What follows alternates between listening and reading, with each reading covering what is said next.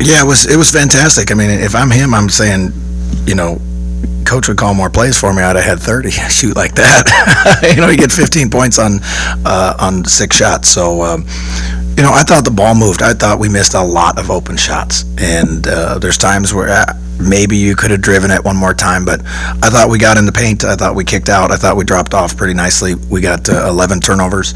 Our goal is 12 or under, um, so that's that's good for us.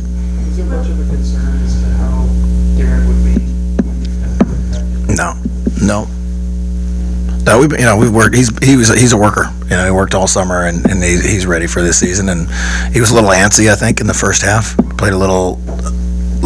Uh, he was fired up, you know. So I think in this in the second half, he got that first run out of the way, and then he was a lot more relaxed. I ran him too long in the fourth quarter, but tough. Players like that.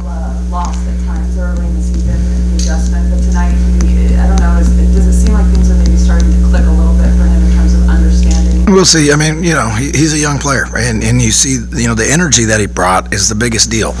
Uh, when he comes out and plays with that energy and gets to the rim, obviously, you know, a lob seems like it gets all these those guys going a little bit. Um, but you know, he's up there full court shadowing, you know, the other team's point guard. He's he's fronting the guy. He comes over and gets a block shot.